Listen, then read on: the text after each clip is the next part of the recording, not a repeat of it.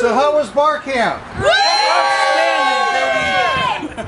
Yeah, you know, I'll send you. Doing anything. Okay.